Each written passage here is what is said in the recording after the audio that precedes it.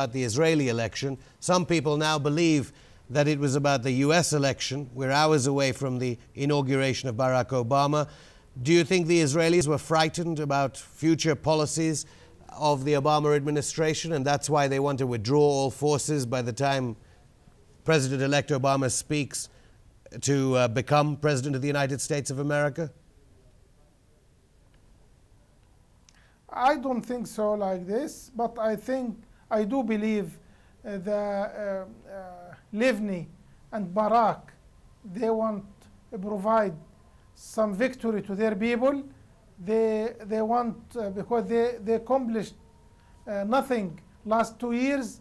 They want to give their the, the people in Israel very white picture for them uh, after they uh, defeat Hamas and now the picture is uh, in, in the other side. It's, uh, this is very wrong message now. And Netanyahu declare very, very clear they are failing to de- defeat Hamas. Israel can do nothing, some say, without the United States agreeing to it. Barack Obama, we hear, wants to speak with Hamas. Will Hamas speak with Barack Obama? And uh, do you think there will be a policy shift? Already there are, as I understand it, conversations going on at some levels between Hamas and the US government?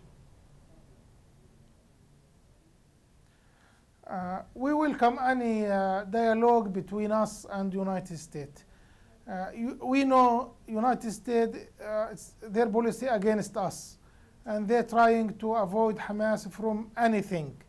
Uh, but, uh, but we know also United States is sober superpower. Uh, United States not Israel. Uh, it support Israel, and we differentiate between how to deal with Israel and how to deal with United States. We welcome any dialogue with United States. We hope uh, Barack Obama change the American policy in the Middle East. We know there is some changes in Iraq, in Afghanistan, in United States, inside United States uh, itself, but I am not uh, sure about how to deal in the Middle East agenda. Now, now he assigned uh, uh, Richard, uh, uh, I I guess, as the, the delegation from uh, United States government to the Middle East. I don't know if he gonna point some uh, ideas to, to, to make some justice Some uh, to people- the Palestinian or to be fair uh, with the Palestinian. Until now, until now we, we didn't see any uh, good point uh, coming from United States. Some people say Hamas is in the strongest position it's ever been, even stronger than your electoral victory in 2006. Uh, do you think, when do you think you and Khaled Mashal will be able to go to Gaza?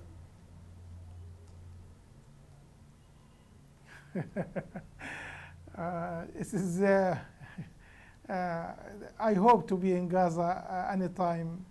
Uh, all of my family in Gaza anyway. Uh, I born in Rafah refugee camp. My mother and sisters and brothers, all of them in Gaza Strip. Uh, all of my family in Gaza Strip, and uh, you see, uh, I feeling from Syria what's happening there to them and to the our people. Uh, but you know, uh, there is many difficulties now to talk about go to Gaza, and but uh, if there is uh, any possible way to go to Gaza, I will do it uh, direct away, and Khalid Mish'al as well.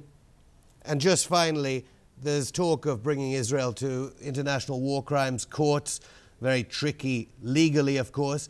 Were you uh, happy with Ban Ban Ki moon, what he said about uh, the United Nations Relief and Works uh, Organization in Gaza? Of course, we had strong statements from the United Nations people in Gaza about the use of phosphorus bombs. What's uh, Hamas and what's, um, I don't know, have you talked with the Syrian government about trying to bring something legal against the Israelis?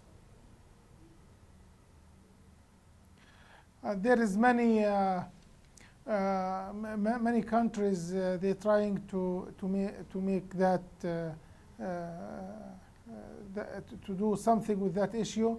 There is uh, many uh, uh organization uh, start to uh, to prepare for also this project to to, to, to raise the war crime against Israel in Europe.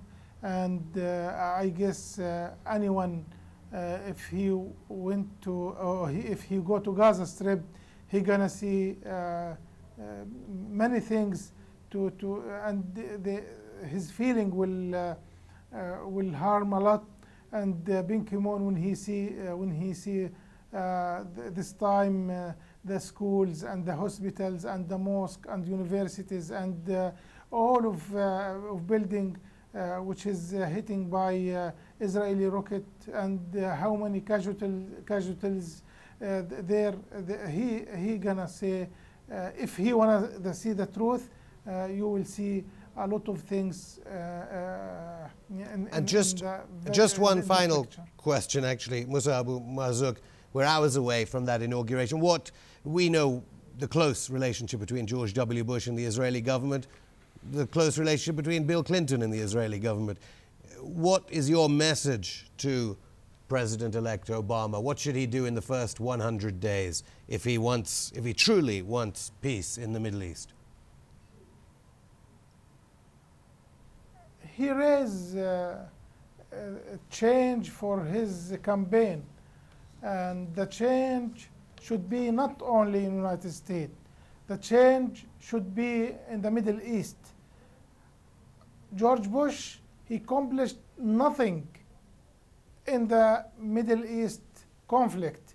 He failed within eight years to accomplish any objective which is he put it for the uh, for, for the people uh, in, in the Middle East, uh, and I want the new administration to change the policy to be uh, not uh, looking to to the, the this conflict in one in one eye, uh, Israeli eye. They should look to our people. Th- They should look to, to our hope, our future, our children, which is right now in the day before he in charge uh, in the United States as a president, uh, he, he saw how much blood in the Gaza st- uh, st- street, how much uh, children uh, uh, get killed in, in Gaza street, and he should change the last policy without any success. Musa Abu Marzouk, deputy leader of Hamas in exile, live from Damascus. Thank you very much for joining us.